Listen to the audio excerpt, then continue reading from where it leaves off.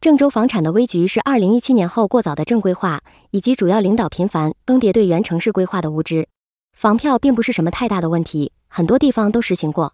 这个房票并不是要去拆新房子，而是要解决已经被拆了房子家庭的安置问题，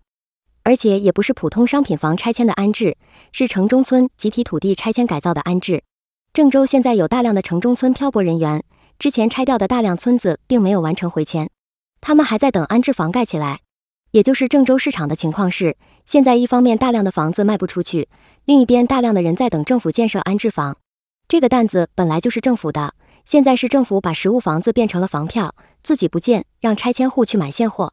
降低库存，给开发商补血，激活流动性。开发商补完血也不至于到处烂尾。很多人可能不了解，在二零一七年之前，郑州土地市场非常特殊，与普通理解的土地财政完全不一样。郑州市政府基本不参与老城的改造开发，完全交给开发商去做。郑州虽然土地很多，但土地指标有限，必须盘活老城区的城中村。但郑州市从二零零零年开始大规模高标准建设郑东新区，郑东新区在还是农村的情况下拆得很干净，耗住了郑州大量的财力。郑州是无力同时对老城区的旧城改造动手的。但东区属于放长线钓大鱼，需要十几年才能出效果。短时间内还必须靠老城区提供住宅吸纳人口，城中村改造又是不得不进行的事情。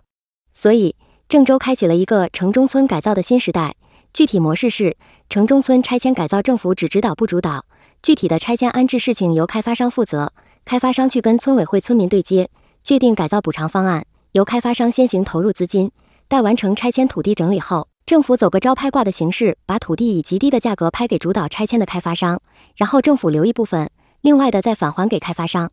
这种模式下，郑州市区两级政府基本上是甩手掌柜，什么都不管。开发商与村民谈谈妥了之后来找我办手续。此时，郑州的政府更像是民政局，开发商向男的来提亲，村民向女的谈彩礼，男女谈好之后就可以去民政局登记了。按照零零年代物权法的逻辑，郑州这种模式反而更符合当年制定物权法的思路。因为我记得物权法刚通过的时候，我当时上本科，正好了听了梁慧星的讲座，他当时现场原话说得很清楚：以后请政府不要过多的参与土地开发，让企业与业主去谈，谈好了就干，谈不好就不干。正是在这样的一种模式下，郑州二零零年到二零一六年这十几年的时间里，城市改造的还算可以。郑州拆迁户暴富就是这种模式下出现的。这个模式的好处是：一，对政府而言，压力大大减轻，不要掏钱，只需要画个图盖个章，与业主没有直接的对抗，出了事也是开发商的事；二，对开发商而言，虽然要先期投入资金，但成本上依然远远低于公开拍地，土地成本可以用补偿房产的形式转嫁，也就是开发商实际上也没有出很多钱，反而能比较安稳的确定土地开发的主导权；三，对村民而言，回报大大的增加。城中村村民的房产百分之九十九点九九九九九九是违建，看似收入高，是因为底商和出租房的经营。政府睁一只眼闭一只眼，一个消防检查就能让村民引以为傲的资产归零。长期来讲，他们也是需要拆迁的。政府拆迁是以公权力与你交涉，村委会在市政府面前什么话都说不上。开发商只是一个企业，郑州这些城中村相当有钱，在与本地开发商交涉的时候，开发商未必敢下黑手，真要干起来。指不定谁能干过谁。这个模式的坏处是：一、腐败的空间太大，因为指定谁是主导开发商，并没有什么程序，谁能参与，谁不能参与，这里边就有猫腻了。在村委一级搞定村里主要干部，然后坑村民也是常态。二、村民的不确定性太高，正常是拆掉就给钱，现在是要等等房子盖起来，村民才算完成安置。三、城市品质太差，因为容积率太高，而且村民集中安置。在好的小区，最后也变成新城中村了。好处坏处都有。对于当时的郑州而言，显然好处更多，优点更多。因为不这么搞的话，郑州市区基本上就没有什么改造的可能性。最后往往是开发商找关系主导开发，贿赂村里的管事人，尽快拆迁，完成拆迁，正式拍地的时候，再通过市政府调高容积率，以极低的价格拿到地之后，一边盖楼一边卖房回笼资金，最后以一个超高容积率的小区交付。村民的安置成本通过调高容积率，使得实际上只是一个建筑成本而已。村民每家拿到了几百上千平米的房子，解决了自己住的问题，还可以继续出租。开发商通过销售商品房部分实现了利润，政府在办公室坐着吹空调就完成了旧城改造，还顺带赚点税钱。这种模式非常不正规，但很安稳。因为只要不出现大的意外情况，比如开发商自己其他方面资金链断了，就一定能建成。因为大家的成本都很低，对于开发商来讲，他不用去银行信托借几十亿才能启动项目，只需要很少的资金就可以启动。关口是政府给的容积率一定要高，把村民的食物安置成本无限降低，成为建筑成本。而容积率本身就是个写在纸上的数字而已。当时大家最担心的是，将来全郑州都是钢筋水泥的新城中村。郑州之前被办掉的一枝梅，在二零一三年之后开启了超大规模拆迁和基建。如果一枝梅还在，问题也不至于这么严重，因为按照一枝梅的逻辑，赶紧拆赶紧建。一枝梅并不是要高房价，也不是要高地价，而是把这些破破烂烂的城中村都拆掉，改造成新小区。甚至于在这种模式下，房租都不会涨，因为容积率实在太高了，动不动六七的容积率，可供出租的房子非常多。一枝梅后来死在牢里，他的继任者们问题是没有那么大，但也没什么魄力和思路。二零一六年房价暴涨之后。二零一七年，郑州土地市场基本就正规化了。开发商需要首先借到到大量的资金来拿地，然后政府用这部分资金去安置村民。政府开始成为土地的操盘手，从二线喝茶吹空调变成了一线前台掌柜，这就造成了开发商的成本非常高，必须要有大量的现金，而不能再搞什么物物交换了。可郑州本地开发商融资能力非常一般，他们玩不转这个模式，招拍挂去公开竞拍土地的成本太高。再加上郑州史无前例的疯狂限购、差额税加国内最高贷款利率，买房的人越来越少，开发商卖不出去房子，同时承担着高额的利息成本，最后资金链断裂，楼盘烂尾。现在发房票，实际上就是救那些资金链断掉的开发商。因为郑州市场与鹤岗还不一样，市场的基本面还是有的。正常是货币化安置，直接给钱，但直接给钱的话，他们未必会买房，买房未必在郑州。这部分资金会流失，为了保证资金不外流，把现金换成了票证，只能在郑州市内商品房市场流通。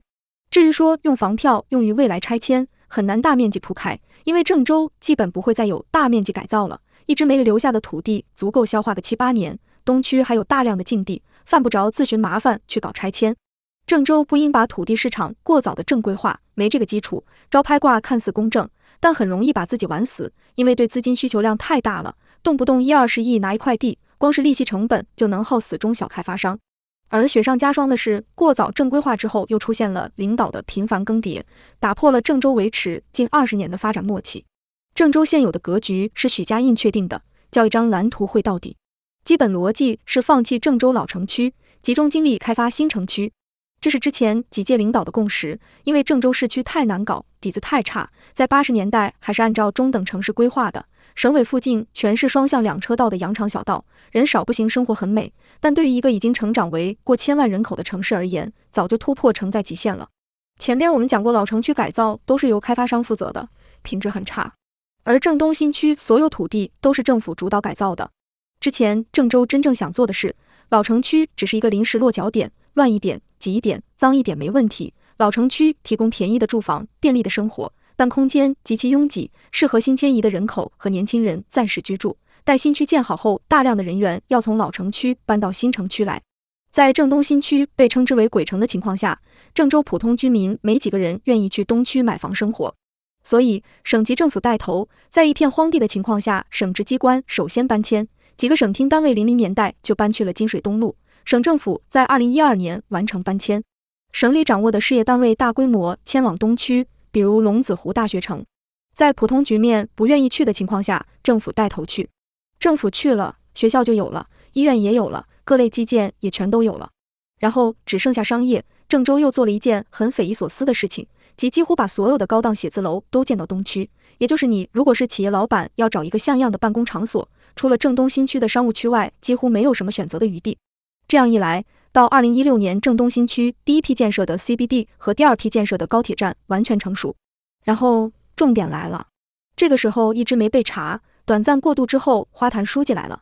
徐书记似乎一直没领会郑州发展的精髓，居然回过头去要搞老城区，整了个东墙北进西美的什么玩意？老城区要是有的救，还会等到你二零一九年才来救吗？结果就是当郑州把重心放回老城区之后，折腾了两三年，其实什么也没搞成。你在金水路上修花坛，在高架路上装花篮，一点用都没有。徐来了之后，郑州向东、向东再向东的发展进程为终止了。这就导致了一个非常严重的问题：郑州无法向本市居民提供低价优质的房产。本来应该是老城区脏乱差，房价还不低，把多出来的人挤出去，让老城区回到一个平衡的状态。外溢的人口主要进入郑东新区、经开区，小部分进入高新区和二期新城、中原新城。郑东新区建成区房价又太高，需要再次外移到东区的新区。外溢人口以老城区差不多的房价购买新城区的新建区房子，居住环境要更好。关口则是配套要齐全。需要你政府像零零年代那样大量的投入社会服务到新建区域，然后再次引导商业和商务转移到新城区。这样一来，以郊外的高房价对冲城内的高房价，然后把郊外建设成为成熟的城区。即使是在房价暴涨之后，一个来郑州的年轻人可以花九千块一平买到一套高层，九十平首次置业总花费八十一万，百分之三十首付即二十四点三万，月供两千八百元。这个压力还是可以上车的，但关键是政府需要在他孩子上幼儿园之前把幼儿园、学校、医院、商场建好，在他工作一段时间想择业的时候，身边应当有成熟的商务区。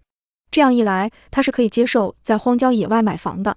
但如果什么社会服务都没有，鬼才会住在这。当郑州停止了向外扩张之后，这就导致了郑州市内的潜在购房者买不起东区的好房子，能买得起的都是老城区的老破小，这种房子的吸引力接近于零。而当购房需求完全回流老城区之后，老城区的老破小价格也涨了上来，干脆两个都买不起了。因此，他们宁愿持币观望，买九千的房子咬咬牙还可以，买一万九千的房子还是算了吧。今晚多加个鸡腿多好。郑州停止扩张，郊区低价房配套无法满足居住需求，购买需求回流市区，再次推高房价。房价太高，大量潜在购房者放弃购房，新房成交减少，导致开发商资金链断裂。房票可以一定程度缓解开发商的资金问题，但只能撬动安置房这个群体，对于大量来挣的普通人没什么意义，而且可能会把市区房价推得更高。满足人民群众对日益美好生活的向往是一定包括房子的。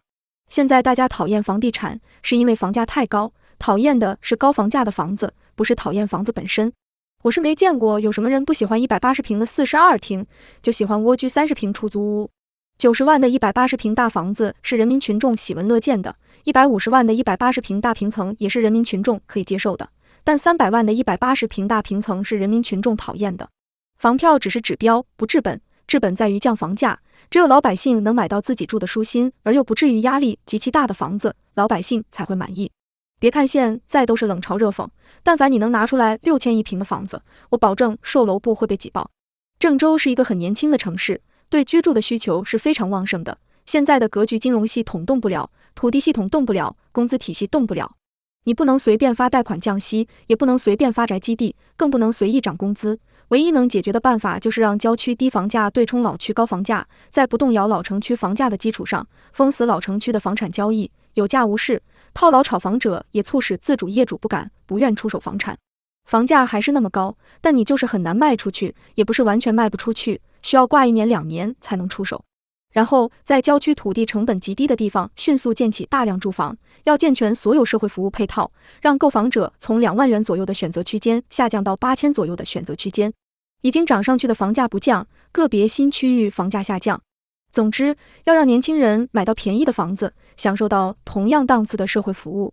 也就是你让韭菜过得很舒服，韭菜才愿意配合你。九五后的人数并不少。这些人也不是手里一点钱都没有，他们主要是上来就面对两万的房子，怎么攒钱都没用，没任何意义，还不如吃了喝了玩了享受一下。但如果你能给他们提供几千块又有同等待遇的房子，还是能激起他们攒钱买房的欲望的。毕竟租房子也不是很舒服。